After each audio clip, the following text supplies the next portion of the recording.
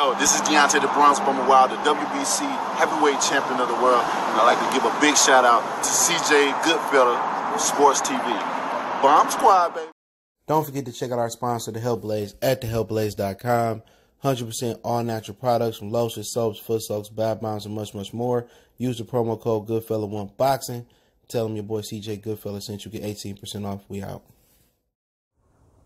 All right, let's get this review for Jermell Charlo, Jeison taking on Jeison Rosario. You know, appreciate everybody that followed us over to the Lion Killer podcast for that part. We went live for the first half of the fight with uh, Jermall and Derevyanchenko on my channel. Then me, Lion Killer, and Nate Campbell went over to Lion Killer's podcast right here on YouTube. So check it out, man. Appreciate it. We had uh, uh, Nate on last night, and we had uh, Antwun Echols on. He had some great stories, especially the story he didn't get to finish about how he sparring a 15 or 16 year old Keith Thurman, and his coach said that uh, if he hit Keith Thurman too hard, that he was gonna go to his car and get his gun. He was like, "Well, Keith was hitting like a grown man." So he had some really good stories last night. So I'm pretty sure Lion Killer left that uh, up. If you want to watch that, it was some great stories on both halves, man. So uh, let's get to it. Hit that subscribe button, bell icon button, share the video, and um, yeah, man, we got uh Rosario last night, man. I think most people was kind of shocked that uh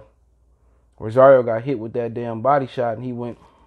And that wasn't the first day. What's so funny about it last night? Even though the Charlo card was a Sunday, that second card it ended Sunday Eastern Standard Time, but we gonna just count it as a Saturday fight.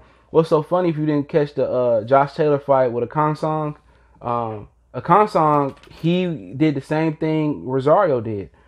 You know, uh, Taylor hit him on the liver with a left hook, and he went down, and he he just stayed down. He was oh oh. So you know, I don't know who had the better body shot last night, Taylor on his mandatory or or Charlo and Rosario, because you don't really see a jab to the body stop guys. But that fight, I think he stopped. He dropped Rosario in the first half, and Rosario just can't take no shot. That's just what it boiled down to. Rosario just can't take no shot, but body or to the head. But he can dish it, and you know that first knockdown, it woke it worked Rosario up, and after that that round, outside of the knockdowns, Rosario was pretty much dominating Charlo in my opinion. He was hitting him to the head. He was hurting Charlo. You won't never see Charlo complain about head too low. He was he was putting it on on Charlo. He had Charlo uh, backing up, dancing, complaining to the referee for like a few rounds, and you know Rosario was just punishing him to the head. Rosario was punishing him to the body. Um, he was hurting Charlo. He, you could tell by Charlo mannerisms, his legs wasn't wasn't there. And what it boiled down to is Charlo had the better jaw. He had the better uh, uh, he had the better stamina, and Rosario pretty much controlled the fight.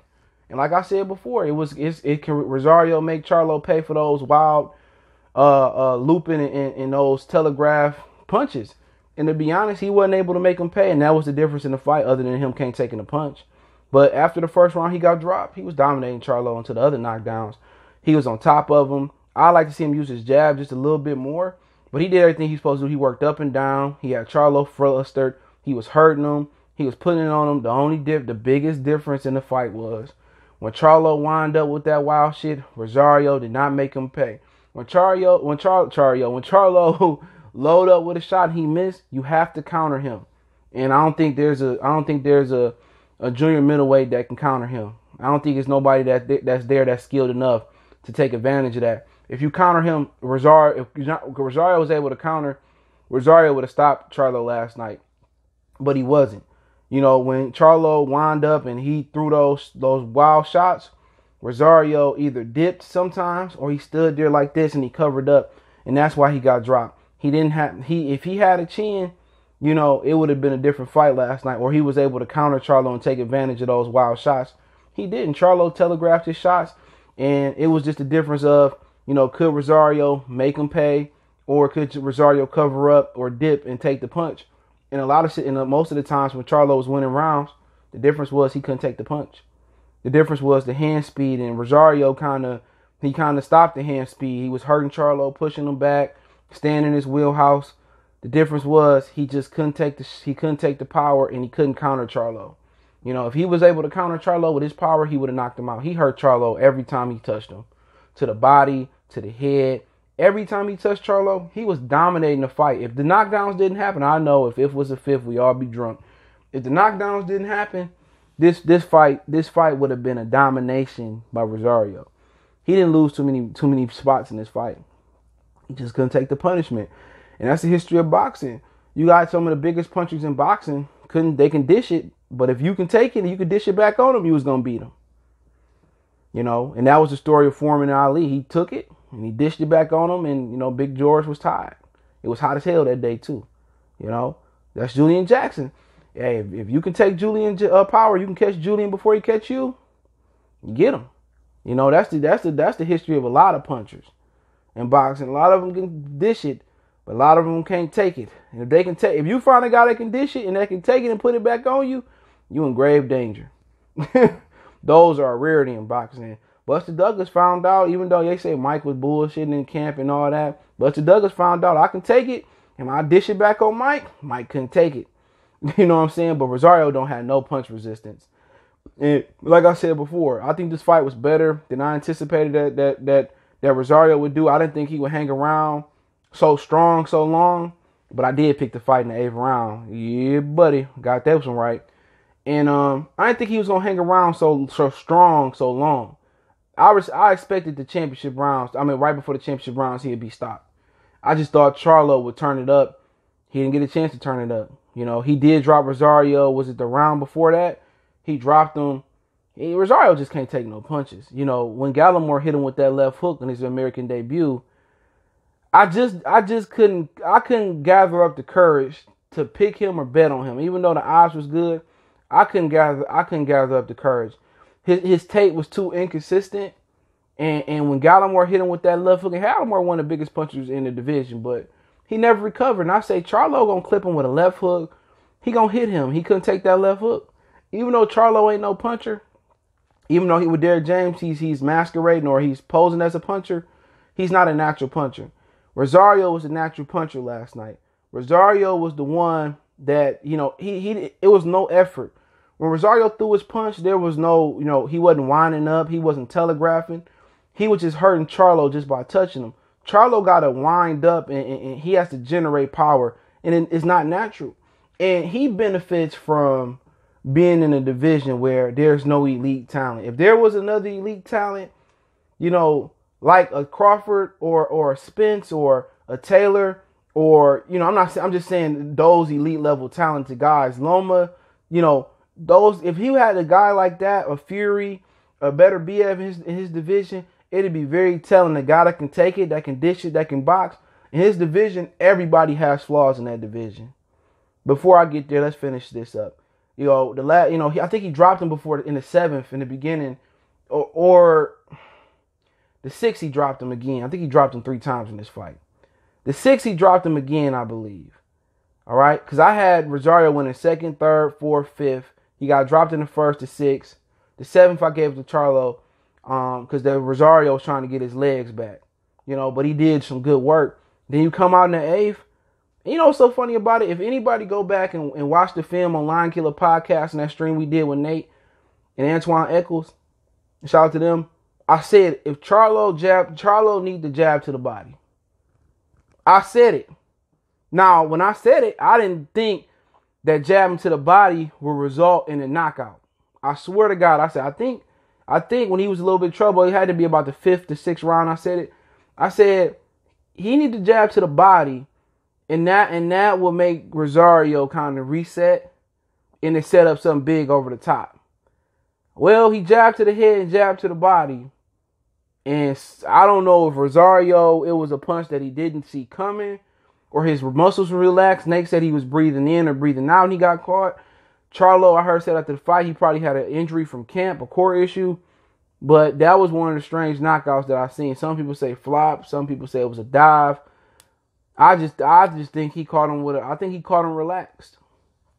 And it's kind of like the Josh Taylor knockout. Josh Taylor hit a Khongsong on the spleen and he was on the canvas for like 50 minutes. I'm exaggerating, but you know, Rosario when Post said he doing this, that, and the third, and you know, I think a lot of, it turned a lot of people off the way that fight ended. You know, you know, with, with Rosario, you know, t- twerking on the, on the on the canvas and doing all this and going into I don't know what it was, but I think it turned a lot of people off. The fight was really good. I think it, it, it exceeded my expectations.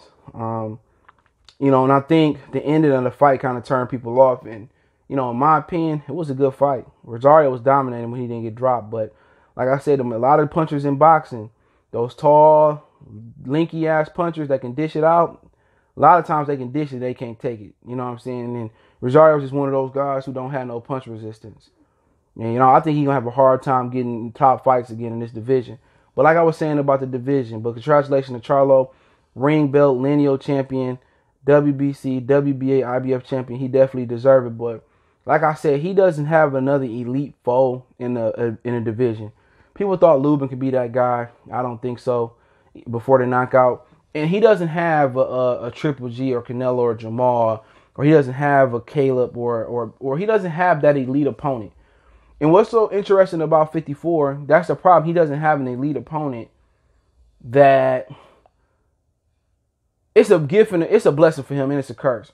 Because you don't have that elite opponent, you can't make that big money fight. And I don't know how many big money fights have been made at 54. It'd have to. I only really could think off top of uh, Oscar and Mayweather and Mayweather and Canelo. That's the only reason ones I could think of. I could be wrong. But he doesn't have an elite foe, and I think that's a good thing and a bad thing. It's a gift and a curse. And what I mean by that, I think an elite fighter beats him. You put him in there with a like if he has a Crawford or Errol Spence to his Crawford, I'm not saying those guys in particular, but he had another guy that y'all see that's on his level, Canelo, Triple G, you know, Benavidez, Plant, you know, Fury, Wilder, Joshua. If he had one of those elite level fighters in his division, you know, Nuyua, Casimir, Casimir, I can't pronounce his name for nothing. He won last night and he had a Haymon boxing hat on. Somebody explain me what Haymon boxing is, but um I think he'll lose. I think Charlo, Charlo, Charlo, if he fights somebody elite, which it ain't nobody elite at this division, everybody got a hole. Harrison got uh, a stamina chin issue. You know, you look at J Rock, he got a chin issue. We're gonna talk about him in a minute. Um, who else? You got Lubin. We not sure he that guy. You know, you had Rosario, good puncher, ain't got no jaw. You know, he bought B Trout, he getting old. I mean, Lara, good fighter, kind of old and predictable. You know, Brian Carlos Castanos, good pressure fighter, you know, but just lacks some pop. You know, Teixeira, strong fighter, just to lack some elite, some elite level skills. You know, Jir Hurd, big fighter, you know, just a punching bag until we kind of, you know, get his skills going. So everybody here, you know, in this division, even they, they, they have a big flaw. There's no elite fighters in this division. So if he goes up to 160 and, you know, his brother leave and Triple G leave and Canelo leave, he gonna be facing the same issue. There's there's no elite talent right now at those divisions. It's going to, to be some prospect or some unforeseen guy. But I do think his elite fight is probably gonna be Demetrius Andrade at 160. To be honest, there's no there's no elite fighters that's probably gonna be willing to fight him from 54 to 60. You know, he might have to get a welterweight to come up. Shawn Porter, I wouldn't say he elite. Terrence Crawford. But right now, you know, he's dominating the division, but there's no elite fighter that can really get him over the top. And if I think he fought an elite, complete fighter, he will lose. Because last night, the difference was Rosario couldn't take the punch. And that's that's credit to him for having a strong chin. But he was he was hurting. He was hurting Charlo. He was putting it on Charlo. And um, he was dominating Charlo when he could when he when he couldn't take the power. He put him in there with an elite level fighter, uh, and there's no no one that's I think gonna fight him. I think he he he'll lose. So many flaws in this game, but his stamina, his jaw, his determination get him by. And if if I'm his coach, um, we staying at 54 for a while, and then I go to 60 once everybody clear out. So he's a good fighter, but there's a lot of flaws there. Rosario was dominating the fight, but it just turned out Rosario couldn't take it on the chops and he couldn't take it to the body. So, I mean, you know, y'all want to talk about J Rock or the IBF mandatory? J Rock can't fuck with that boy. J Rock, he told me I'm gonna be two time champion. You can't beat him. You ain't got the jaw. You ain't got rid of Bredman. You know, you you you ain't you you can't beat him. You can't beat him. There's no way, no how. You know, he got skills, and I just don't see him beating him. You know, he can he can he gonna have to approach, you know, Jamil like he approached Hurd. He gonna have to, you know, he had to beat Jamil on the inside and push Jamil back. But I, he gonna get clipped. You know, J Rock is a great all around fighter, but I just think he lacks power. But I, one thing I think he lacks a lot is the is the defense. If his defense was a lot better, I'll give him a chance. But he going to take the he going to beat Charlo on the inside. And then again, Charlo got a good left hook on the inside. I just don't think I don't think anybody at 54 can beat him. I think Castanos got a good style to beat him. Um, it's just can Castanos take the power? I think he can. I think Castanos and Charlo for a four belt unification, five plus the ring. I think think that fight is going to be uh, even more exciting than this fight with Rosario because I think Castanos is going to be able to take a bigger punch, and I think Castanos brings pressure. Somebody, somebody, it's going to be an exciting fight. So hopefully Castanos can beat Teixeira. I believe it will, and if they ever get to an undisputed fight with Castanos and Jermell, I think that is going to be a better fight than you ever seen Jermell in. It's it's gonna be a barn burner. So let me know what you guys think. Don't forget we on Facebook, Instagram, Twitter. You can reach out if you have a business question, inquiry, sponsorship, video request. Don't forget to check out our fight reaction playlist for more videos like this. If you want to check us out on social media, Facebook, Instagram, Twitter, all those links in the description. We also got a Facebook group. So if you want to chop it up with me, if you got business question, inquiry, sponsorship, video request, hit those links in the description. Want to make a donation to the channel? Uh, Cash App, dollar sign, CJ Good 313. Appreciate everybody do donate. PayPal link in the description. Appreciate the love, support. Best way to donate is share the video one time for the one time we gone.